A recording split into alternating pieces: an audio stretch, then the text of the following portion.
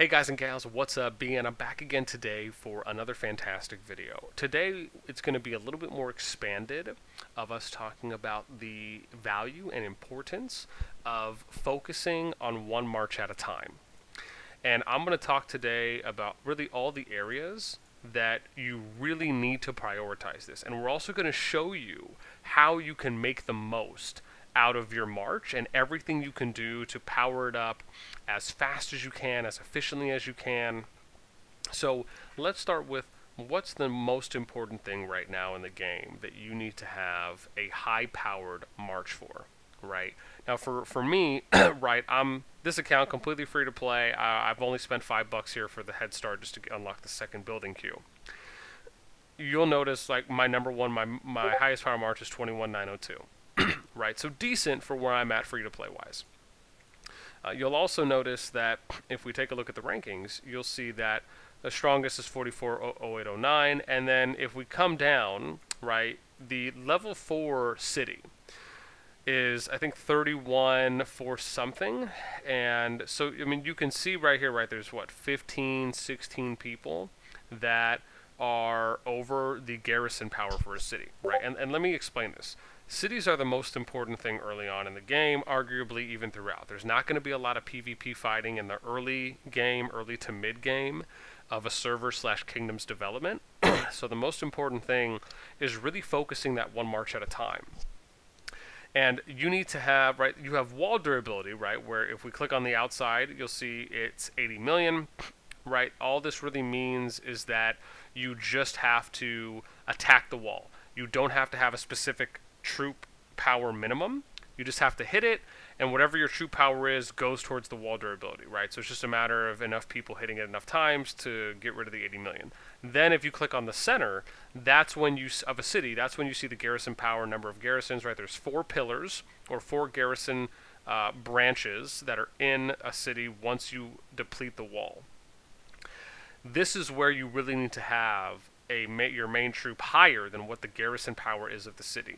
Now, for players that have a lower troop power than what the garrison power is, you can still do damage, right? You'll still incur dead on the city's garrison troops.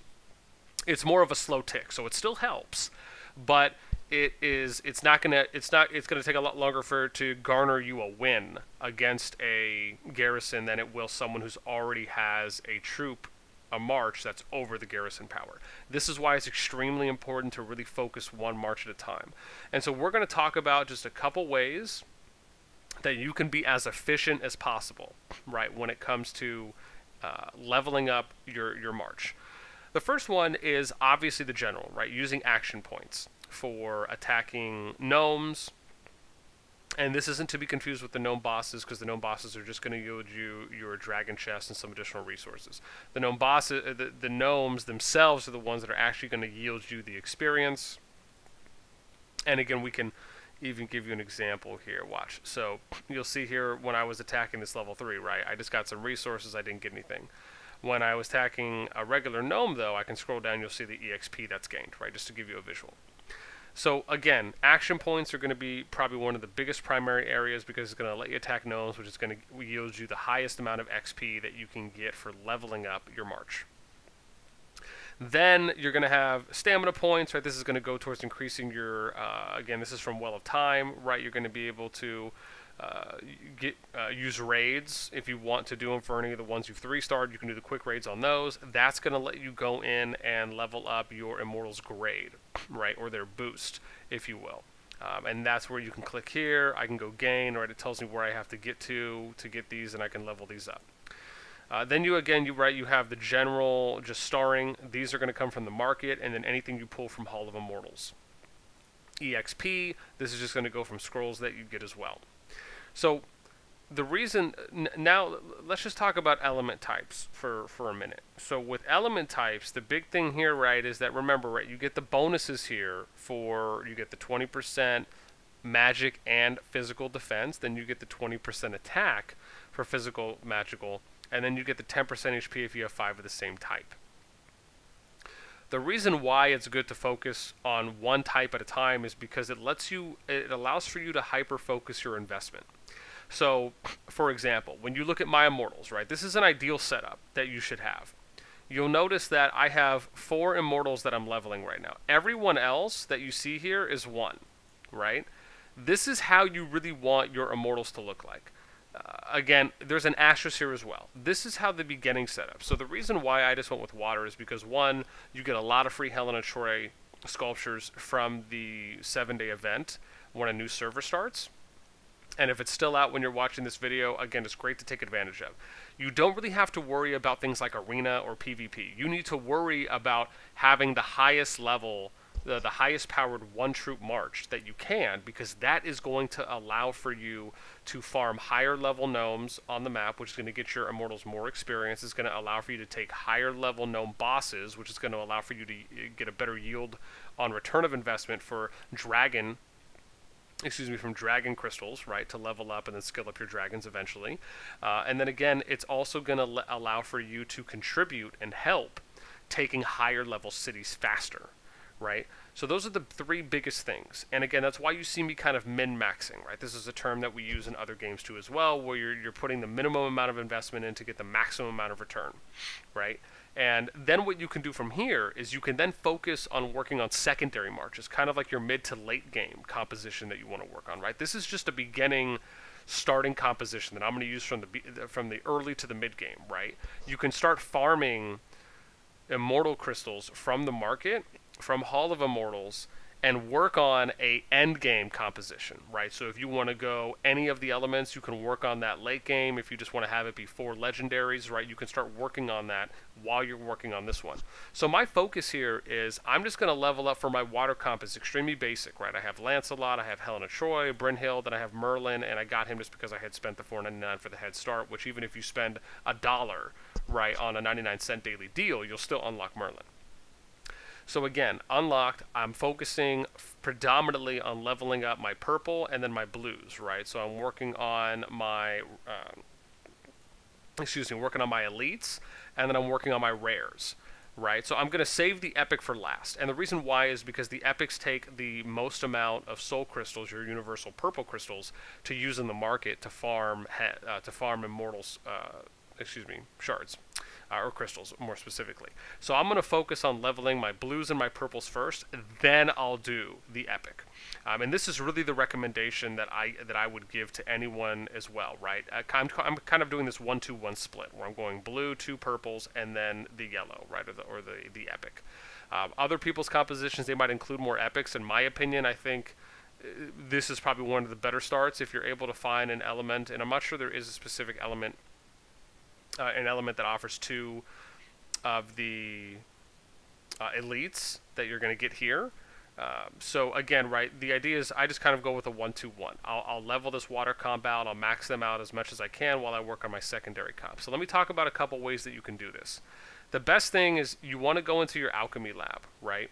You want to basically, from what you see here, right? I am just doing nothing, but uh, but dismantling any of the any of the immortals that I'm not going to use, right?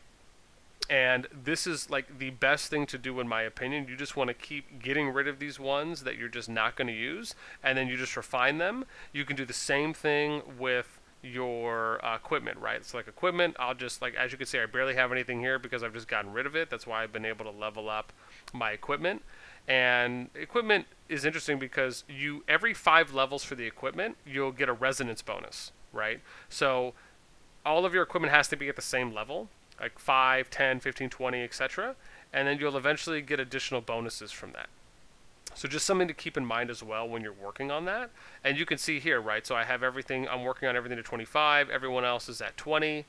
Um, oh, excuse me, with the exception of uh, this guy, I have to upgrade the staff to get the 20 bonus. But again, right, and then same thing with levels, right? The great thing is that it, it, this, it costs the same amount of experience at the moment for every type of element grade. Uh, which is, is interesting because in, in, other games, typically it would cost more experience for a higher immortal uh, if you're trying to level them up than it does for a lower tiered level immortal. So, again, keep in mind these are some of the big areas, right? And then you're just going to farm for in the market. You're just going to come to the market. As you can see, I have no more refresh scrolls. Um, I use all my refresh attempts. I've already burned through all my scrolls, right? That's why I've been able to get uh, Brynhild and working on Lancelot too as well. Uh, and again, these are just what you want to do. You click refresh, right? You don't don't you have to use the green gems, right? But just use your dailies and then use your refresh goals. And you're just going to farm for the elites and the rare immortals first. And anytime you see them come up, only using your purple, not your green, is my recommendation to start. And you just grab these, as many as you can, and you just check it every day until you level them up. This is one of the best things you can do. Now, whether you choose water, which is my recommendation because it's the easiest to farm, or you choose another element, that's fine as well. But just pick four, stick to them in the early game, level them up as much as you can, and then you can worry about transitioning to a late game composition at, again, with no pun intended, at a later time. Uh, so, again, that's my recommendation, guys, for what to do with your immortals when you're focusing them in the beginning right? And then you can work on the other areas, right? And again, also with Mysterium. Mysterium is another area that having a high level um, one or a primary march power is going to let you just keep getting as far as you can in Mysterium. It'll give you some extra free resources, right? Same thing with Well of Time, um, right? There's a lot of benefits to it. So anyways, I hope you guys enjoyed this video um, as something I've really been wanting to make for a while because I even noticed some players in other alliances that I see, right, they'll, they'll have high power, but they may not have the highest march. And, and I've even worked with some of the players in our alliance where I'll go in and they'll screen share or they'll screenshot me pictures of their immortals and I'll kind of work with them. So I'm hoping that this video will just be a great tutorial for how to really do a proper investment and a, and a proper respecking for focusing on one troop, on one march, and then how to focus on doing a min-max investment for each of the immortals in that as well. Uh, with that being said, I'm out. Until next time. And again, as always, guys, you can check out links uh, for official Infinity Kingdom resources in the description if you guys want to join Server 6. Um, if you're interested in joining our Discord for our Infinity Kingdom section, again, I'll have links along with our Immortal breakdowns, our uh, beginner free to play guide that my buddy Yorae and I worked on. Uh, you guys can find all of that and more in the description down below. Catch you later.